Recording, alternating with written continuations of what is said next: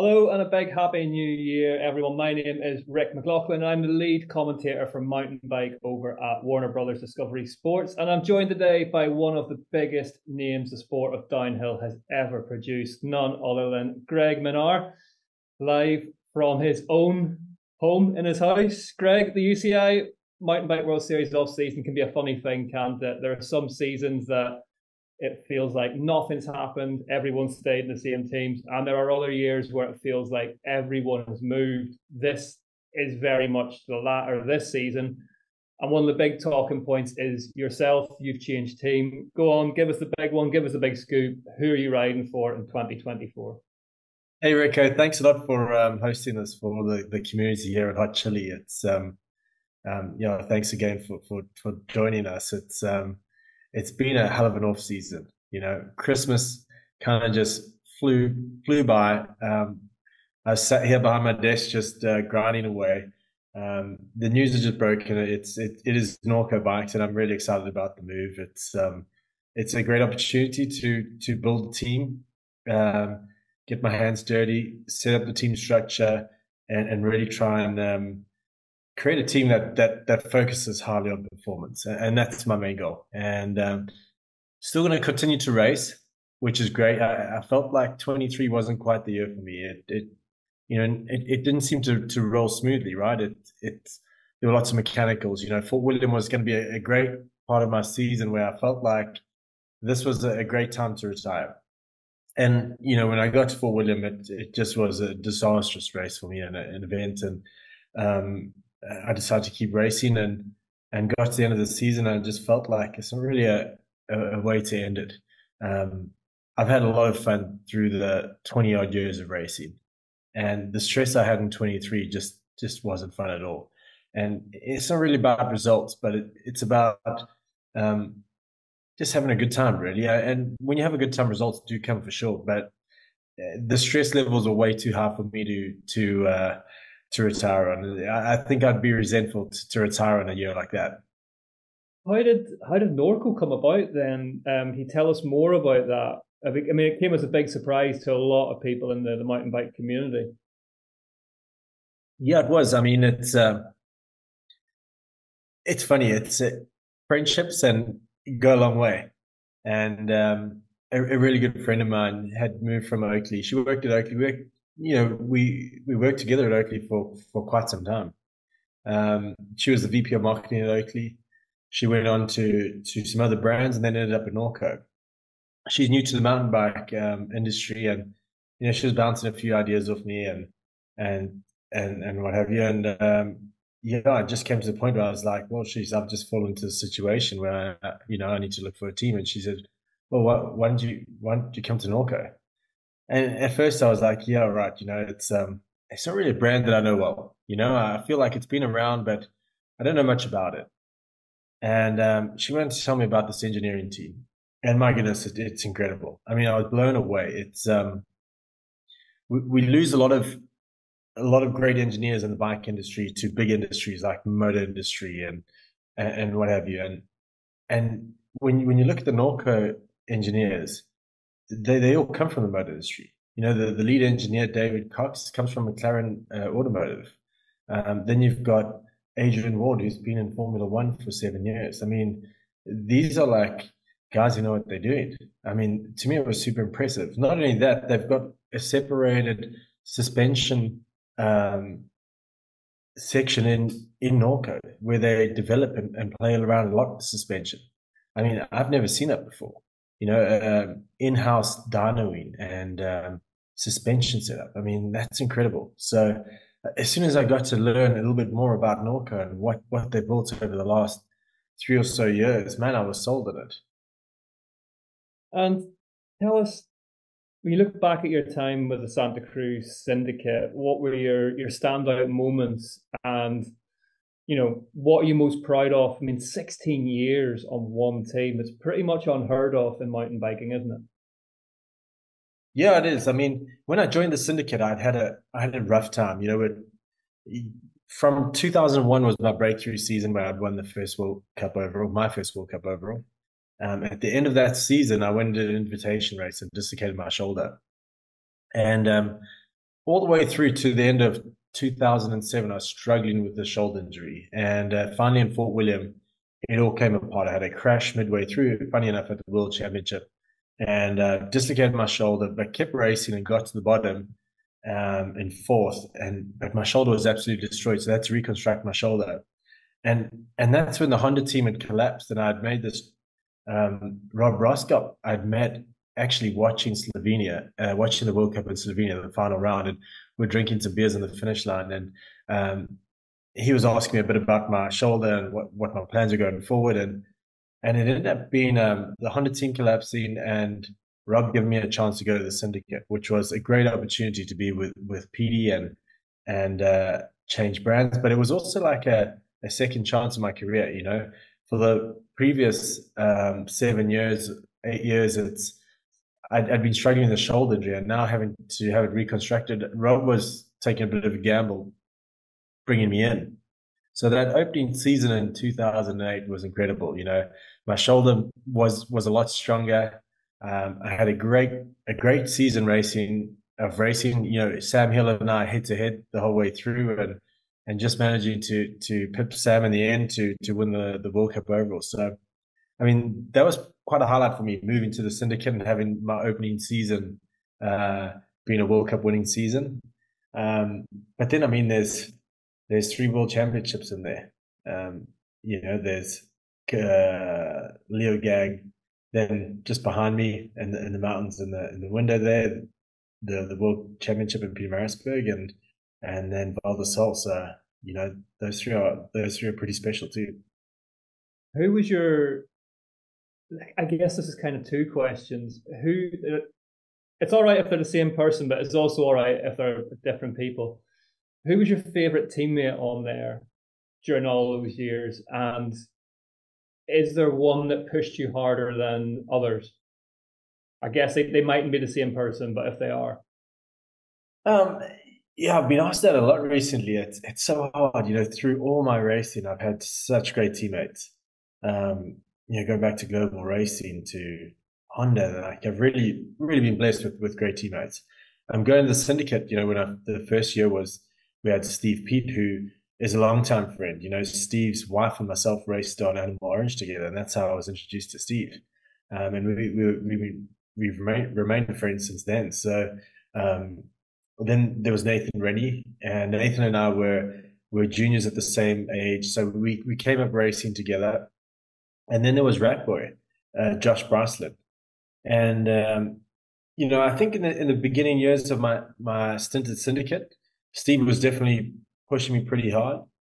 Um, and it worked really well because we had trained quite quite a lot together. We'd help each other on tracks, like through training, and then you know the race is the race, and whoever did better, we were stoked. You know, we were helping each other out. Um, and then Ratboy came, and Ratboy um, found his groove in, in elite racing. And what was special with Ratboy is it was he was so deceiving. He's deceivingly fast. You know, incredibly smooth. I mean, I remember watching him pedal out of the gates in uh, one year. Everyone was like powering down the first straight, and he uh, took a pedal or two out the gate and sat down and attack. I mean, he was creeping to the first corner, and he comes through the first split, and then he's up, and it was just he had the amount, of times, the amount of times he'd appear on camera, and you'd think he had a puncture or the chain yeah. was off the bike or something, and the split would come up, and he'd be two seconds off, and you'd like, he's just how he how he did it. I don't know it, was crazy. He, he, looked like he was off the back, just cruising down, and this time was incredible. I mean, the the way he cornered it through the bike actually reminded me a lot of Nathan Rennie. You know, Nathan Rennie was one of the, to me one of the best um, corner like guys who could ride a flat corner or just corner really hard. And, and so Josh was was very similar to that, um, and, and just carry so much speed out. So you know, in the syndicate, definitely um, in those early years, Ratboy changed things up, and then you had like Loris and, and Luca come into to play. Um, two di- very different riding styles. You know, like Loris popping and bouncing everywhere. Luca really smooth and tight and and solid line. And uh, and and they they also kind of gave me another kickstart to get going again. It's a difficult thing, teammates in downhill, because it is an individual sport, but in any sport where you're on a team of people, even if it's against the clock, you always want to go faster than the person who's got the same equipment and the same opportunities and the same setup as you have. Is it a difficult dynamic because you know you obviously obviously want to be friendly with these people too. You got to see them at every mealtime, three times a day. Yeah, you want to be friendly, right? Hey? It's uh, but it, it, it can get tricky. You you you you know you you you traveling, you you living together, you you racing against each other. You know, um, it, it's it's never easy. It's but I, I think they did well with that in the syndicate. I think those first few years we um, it was well managed. You know, we um, we worked together as a team. We raced individually, but we were really supportive of, of each other's results. I think I think that was unique with with the syndicate syndicate back then. Um, uh, it's a it is a tough dynamic, you know. And there's a you know you can joke around and go, geez, if you if if you if you're not if you're not the fastest of the day, at least be fastest in your team, right? It, it takes a bit of pressure off, but um, you know it, it, can be tricky for sure, Cap. Okay, right. Well, I've held off as long as I can as a complete bike geek, as somebody who's just fascinated by bikes, downhill race bikes in particular. What are yeah. your impressions of your new race bike, your new Norco? Tell us about, you know, the setup. How have you been working with it? I mean, it's already under Gracey Hemstreet last season, Mark Wallace, of course, you know, a really well raced, as you say, really, you know, intensively developed bike. What were your impressions as Greg Minnaar the first time you got on it? Yeah, so you know, I go back to the, this engineering team and this race department. It, it's these guys set this bike up as close as they could to to to suit me, or you know what I what I what I look for in a bike. They try to set this bike up for me. So on the first day on the first day of testing, within five runs, I was I was going. Times were, were going really good. Um, you know, it normally takes me a bit of time to to set up a bike. Um, in terms of like handlebars, you know, I, I always have an angle finder for my brake levers. So I know 27 degrees, that's the angle of my brake levers, but finding that bar roll is sometimes quite tricky. And uh, we got to the end of the test and Tom, uh, Tom Duncan, my mechanic, goes, Well, you didn't adjust your bars once. And I was like, Yeah, you're right. And uh, one of the things we're concerned about on the bike, because on a, you know, the bike's, the bike's shorter than, than, than any bike I've ridden recently. Um, but the bottom bracket to top of the head tube is is about is slightly shorter than, than what I raced in 23. Um, so the bike kind of it allows me to stand more tall rather than be stretched, and um, and that's kind of what I've been looking for. Is do you think that do you think that shape's changed because we have seen the likes of Jackson, Laurie, like the younger generation, they do seem to stand like more upright on the bikes than the more experienced, like the older dudes do? Do you think that's yeah. that's I mean, it? it's something that I've been trying to do. It's um, it's uh, you know, I, I, raise my bars as high as I can, but it, it doesn't really get me there. Um, and so you know, when you look at like a Jackson, he stands just straight up and tall. It's really um, noticeable, isn't it? When you watch those race runs back yeah. from last season, he's kind of stood just in between the wheels, almost upright. Yeah, and it's it's really hard to to to kind of replicate. You know, when your legs are so long like mine, you pivot from your hips and you lean forward. But for now, I, I felt really upright on the bike. Um, and I think that had a lot to do with me not having to adjust the bars because I, I didn't have all this weight through the front end.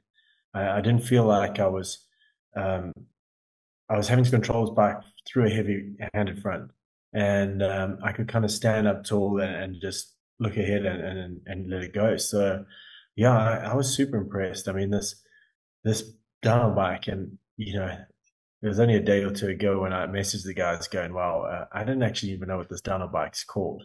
So we, before we do any interviews, can you let me know what it's called? And it's like, no, they haven't quite named it. They call it like a, a downhill prototype. On the prototype. It used to be the range, didn't it? The, the old bike was called the range, but I noticed in a lot of the stuff I've read in the prep for this, it's just like all the bikes last year were just called development mules and prototypes, and they haven't really settled on a name for it. Yeah, and so what what's so impressive to me and and really unique in a in a in a, in a race bike is that every part of this bike can be adjusted um, without affecting any other part of the bike. So um, it, it, like everything is adjustable independently. So if I want to adjust um, where the idler sits, I can move that into four different positions. If I want to change the um, the the the suspension, like to to have a more linear or more progressive setup, I, I can do that by without affecting bottom bracket, without affecting head angle, just solely focus on on that part of the bike, which is which is really cool for a racer. You know, when I when I heard about that, I was like, you know, this bike's going to be pretty easy to to to fit because anything I don't like, I can completely adjust and leave everything else. And um, that's that's unique for me. I, I, don't have any bikes where you can adjust the head angle and not affect any other part of the bike. Normally, it's a compromise. Normally, you have to adjust shock rate, and then your bottom bracket's going to drop or increase, and then your head angle head angle is going to slacken or steepen. So you're always compromising. Where um, these guys have designed this bike to to to really focus on on um, being able to adjust and and and move in, in certain areas and, and focus independent and independent areas of the bike. As in terms of benchmarking against you know your your old bike and stuff, how how are you doing that? Is it a timed process? You know, do you have a you know a set of tracks that you know times on, or is it all feel seat your pants stuff? How do you sort of get it to where you need it to be? Yeah, it's um, it's a bit of both, really. It's it's time, it's feel. Um, you know, you can you can put down some times on a track, but um, if you, it's really hard to to know what what level you're pushing at, and so you really need to feel that level and, and replicate that level time and time again, and then push in certain areas and and feel it out. But you know, time is super important, and and and uh, this was another another area where these guys just totally excel. You know, we finished this these few days of testing and um, I get these test sheets and it's like, you know, from every setting that was adjusted to what the bike was, I mean, it was like a, uh, a page per, per run test sheet. Like this is, uh, these guys are serious about racing and, um, that, that's impressive. It's, they, they definitely have this culture of, of performance and, and that's spilling out into this race team. And, and I think that that's really cool. It's, that's, that excites me. What about uh, parts, um, setup, package, different brands you're working with? Is that kind of still up in the air? Yeah, we were, so, you know, it's, um, we, we, we kicked this off. I mean, the season only ended in, in October, right? And, um, so middle of October, we kind of knew what was going on.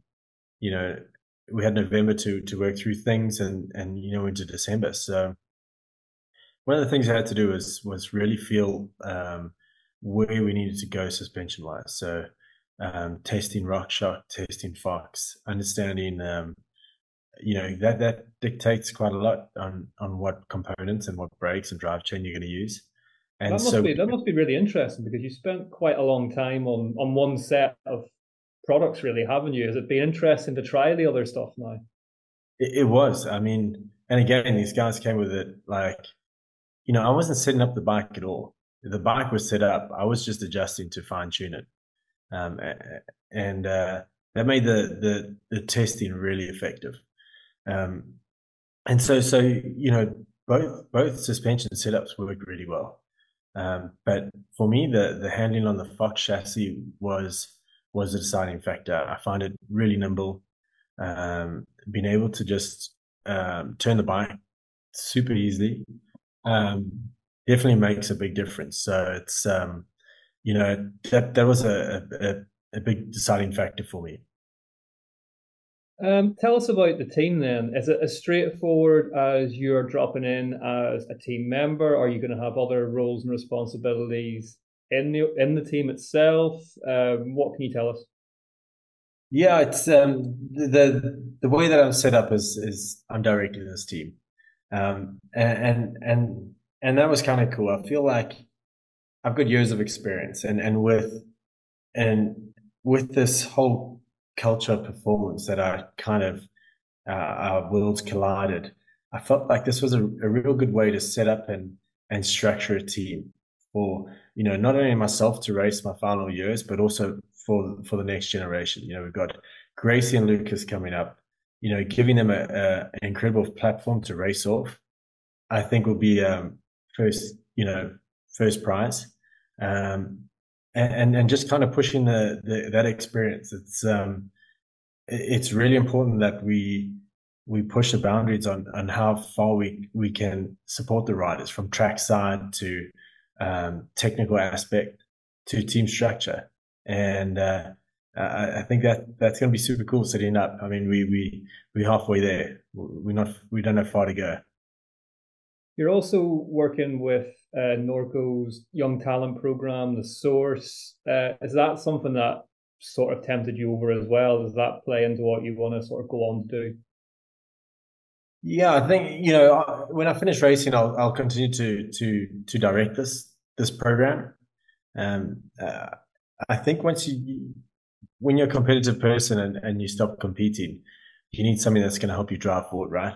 And I, I think that will spill over into trying to help this team really squeeze every drop out, trying to you know try and find all you know different ways that we can help trackside to to really support the riders. Um, the sources is is definitely um, it's definitely a great idea. You know, we've got some some young talent coming through. Um, we've also got one of the fastest engineers racing on the team this year.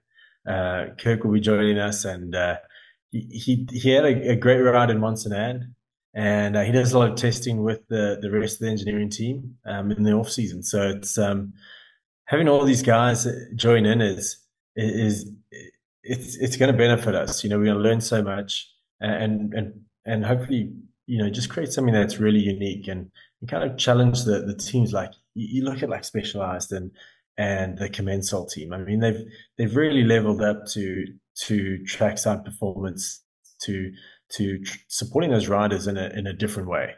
Um, and, and, you know I, I, don't think or copying is the way to do it uh, i feel like there's there's other ways that we can squeeze more out of performance and than trying to copy an idea that we don't actually know what they they aiming at or what they you know they've got guys inside the track timing we don't know what they're timing eh, or who they're timing.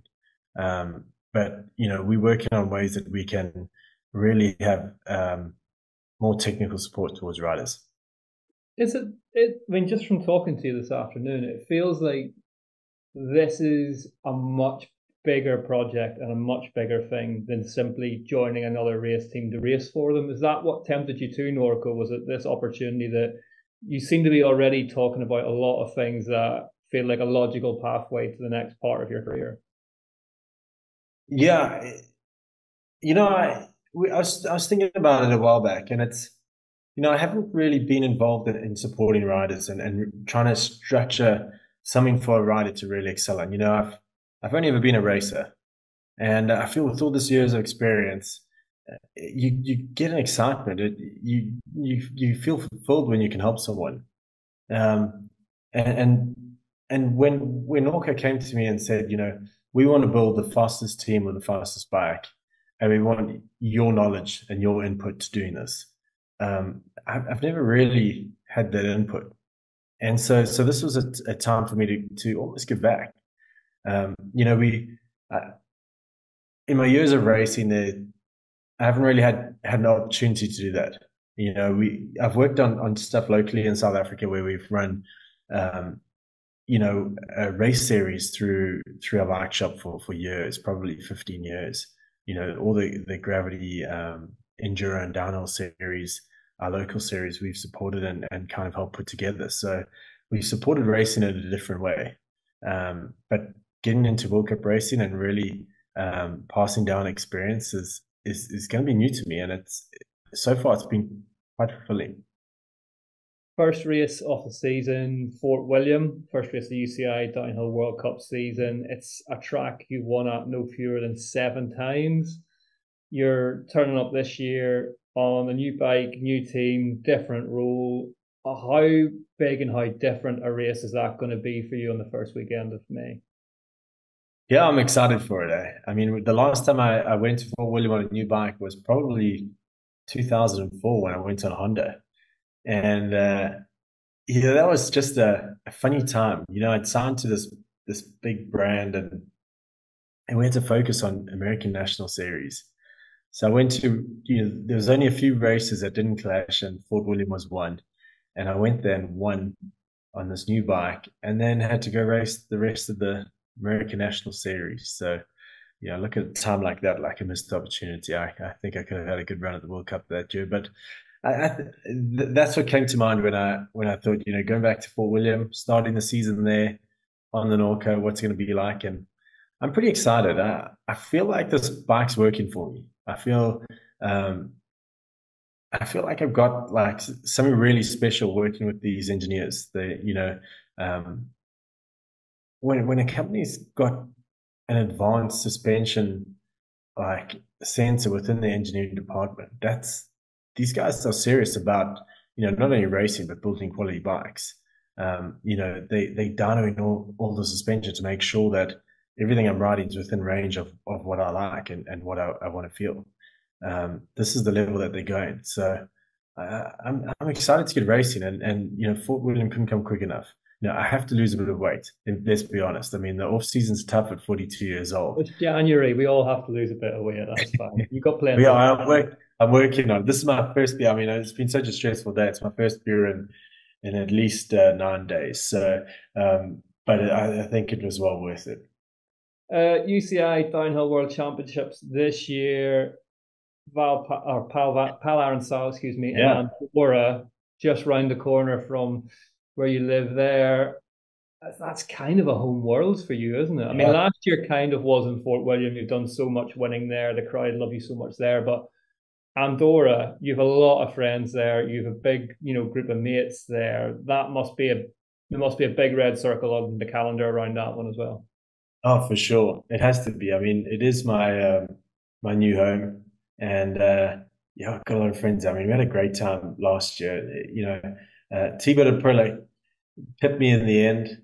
Um, and we got a little bit lucky in the weather too. Um, but it, it, was one of those race weekends where I, I, managed to, to maintain the momentum through that first um, time session. And it didn't really happen at many other races. So, um, yeah, that was a, it was a good weekend. And uh, that's definitely going to be a, a half focal point for, for me in, in 24. How how important was that result there last season for you? Second place, just over a tenth of a second, which is obviously nothing. You know, you had such a bad run of luck at different races, different stuff breaking, mechanicals, just bad, bad luck. But in Andorra, it felt like that was the affirmation. It was there was confirmation that the speed wasn't the issue. The speed was there. Was that a whenever you look back on things, was that a big moment? Yeah, it was like the only moment, the only good moment I had all season. Um, you know, if if I look at the season, I think my, my next best result was like a seventh or sixth in in Les Gets. I don't think there was anything else. Um, I, you know, Fort William, there was so much there was so much stress going up and leading into Fort William and and trying to make sure my bike was ready. Um, that took it out of me. I took a week off and, and went on a holiday, um, actually with Steve and some other friends. And, you know, we didn't touch bikes for a week and got back to Andorra feeling really fresh. And, and, um, actually had my, my long time, um, long time friend and, and chiropractor Lawrence van Lingen there.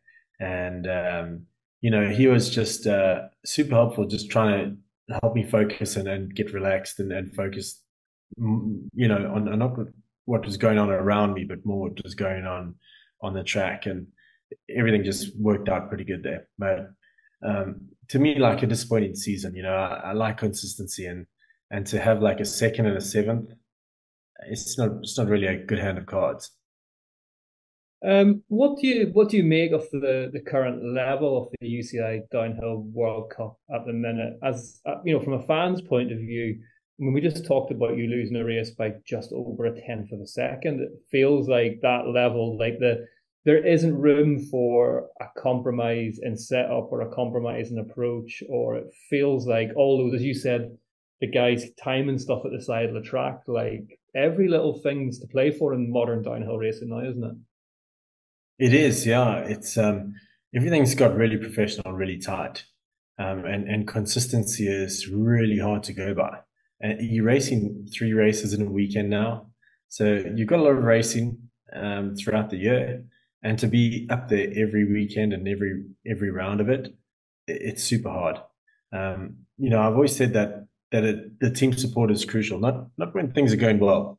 You know, when when when a rider's got confidence and, and things are going his way, um, you know, having a, a, strong team is, is for sure will be beneficial, but it, it's not going to really affect things. But as soon as a rider drops off that and, and, lacks a little bit of confidence, he needs a platform to rebound off, and and that's where a good team structure comes into play, um, and that's super important. So um, that's something that I, have I've really been working on. We we've signed in quite a few um, quite a few staff members already, and uh, so I'm excited with that. It's um, and and then again to to take advantage of it myself and and really uh, feel it out and and make sure it works as well as I think it works.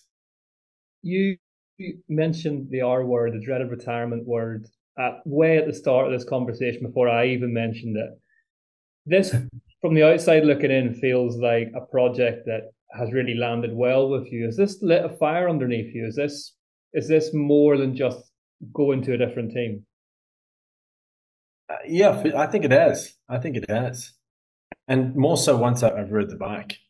You know, I I, I had. Um, were you were you nervous before you rode the bike? Because I always wonder that with, sure with the pro game and that if you get on a bike that I mean I've heard people talk about in the past they got on the new bike, tested it and went, "There's no way I'm making a winner out of this." Is it is it a nerve wracking process? It is, it is, and and I was actually messaging a friend who's uh um he was messaging me the whole way through. How, how's the bike? You know, and I was like, well, I've, I've done one run. I mean, it felt pretty good. How was it? Oh, so like, at the end of it, I was just like, you know, Rob, actually, I feel like I can win on it. And and that, like, I was excited after, you know, I only did five runs on the first day on it, and I was like, this is a bike I can win on. Um, and, and that, you know, if there was a fire that was that was lit, this threw some petrol on it because it, it, got me going. Um, and uh, yeah, it, it's it's motivated me. I, I, felt like 23. I had the pace. Uh, it wasn't like I lacked pace or, or lacked speed. I I lacked a bit of good luck, and um, there was just a lot that went wrong. And um, so yeah, I'm I'm ready. I'm ready to race. Um, I'm pretty excited for it.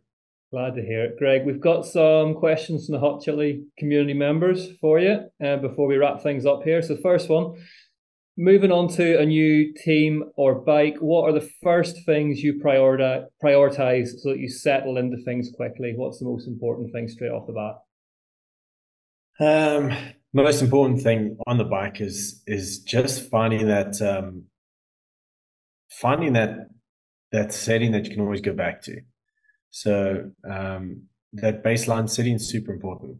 Um, is that just and, suspension, or is that tire pressure? Is everything else that goes with it? There's a there's a bit of a combo that goes to it, um, and I think that's some, some, that's super important. And it's really based on feel.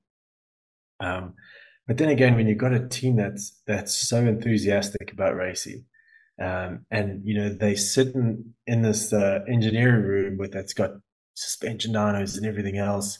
You know, I was just chatting to the guys. One thing we don't have in mountain biking is a, is like a handlebar jig you know, if you if you go through motor racing, um, they have this like jig that sits on on the triple clamp and, and your brakes and everything just fall into your setting and they tighten it up and, and there you go. And so I said to to Adrian, I was like, you know, this is something that I want in, in downhill. I've been wanting it for years. I think it's super important that when we travel or go somewhere that or want to swap a handlebar to a fresh set of handlebars, that they're in exactly the same position possible. So it was last week. He, he sent me a, a drawing of, of what he's designed for a, a handle project, which is is so cool. So, you know, when, when the team is enthusiastic about things like that, it makes that baseline setting super easy to find. And that's what I found with testing that they came in so prepared that um, it, it was really easy for us to fine tune the bike to go quicker. And it almost felt like, you know, we weren't on the back foot in any way trying to find a setting because it, all, it had already been done prior to to being on the bike, and and that was new to me. Normally, you get a test session, you're trying to find this baseline setting, but with a strong team behind you, it's it's pretty easy to find. Okay, next up, obviously this was not an overnight decision for both parties, but will you have major input onto the development of the bike like you did at Santa Cruz? Oh, for sure. That's that's definitely one of my um, uh, one of the reasons why I've moved across. Um, and uh, you know these they're, they're, these guys are some some technical stuff, and um, it, it's really cool. So yeah, I'll definitely be involved in the development of bikes, um, as well as looking at, at what's been built down the line. Um, but uh, I can tell you, I've I've seen some of the stuff, and and in fact, I've got one down in my garage, and it's it's really nice. Okay, can we expect to see some familiar veteran UCI World Cup faces on the team, or some talented younger riders? Yeah, this um, the team's definitely set up for the future. It's definitely set up for for an up and coming team. We are going to be looking for riders. You know, I'm I'm not, as I said, I I have no pressure to to race. By the way, it's uh, you know, the the when when moving across to Norco, they just said, well, you you stop racing when you feel like you want to stop. Um, and but you know, we want you to direct this team and and focus on building the best team in the world with the fastest bike. And um, that was that was really a like one of the selling points. You know, I spoke to uh, Sean, the CEO, and uh, he said, "Well, you know, it's an important question to know what what what equipment's going to be on this bike. You know, if it's something I don't really like or, or want to be on, it, it's going to be hard to race faster than." And um, his his reply to me was, "You choose what you feel is going to make the fastest bike. We want the fastest bike. You pick and choose. We're not going to line ourselves with anyone. It's all up to you." And I was like, well, that this guy's serious about about wanting to win races and, and build this team. So I definitely think that um, once we have this team established and and and and the riders are going to understand at, at what level we we want to um, commit to racing from the trackside assistance to technical assistance. Um, I, I, think we're going to hopefully um, be able to track some riders. I want to I want to have a World Cup winning team. I want to be a part of that. I want to be a part of building that. Uh, whether it's 24 with myself as a racer, or if it's in 25 when we've got other races in in replace of me, um, that's the goal, and, and that's what we're going to aim for. And finally, then, what are your plans off the bike in 2024? Where can we expect to see you? What other projects can we follow Greg's involvement with? Well, we we've got a lot going on in 24. You know, we we're going to be doing some um, some ride days um, at some World Cup events. You know, we're working on some some projects with Hotchillee, Hot Chili events. You know, there's there, there's a lot going on right now, so it's um, we're going to announce some more things through the platform. I mean, I think this is what's really cool about it is we've got this community now. Um, it's it's been quite a hectic start. There's obviously we had to wait for this news to break, but we're going to be playing around a lot with this and, and sharing some some stuff with this community that probably won't go out anywhere else, or if it does, it'll be a bit later. But I feel like it's um, it's a way that we can be closer to to some of our, our really important fans. And um, yeah, so Hotchillee have done a great job with this. So we're going to definitely be doing more more things like this down the line. Greg, that is it. Thank you very much for your time this afternoon. I know that you get back to that new Norco. That is all from us. Don't forget the UCI Mountain Bike World Cup gets underway. You can see Greg and the rest of the stars find out how he gets on on his new Norco team in Fort William in Scotland on the first weekend of May. Stay tuned, of course, to the UCI Mountain Bike World Cup website as well for all the latest news on rider and team changes as and when we get them. Greg, thank you again for your time. It's been great to catch up. Hey, Ric, thanks for joining us and thanks for hosting today. It was uh, great chatting. No problem at all, Greg. Thank you very much and good luck this season. Thanks, Ruth. Ciao.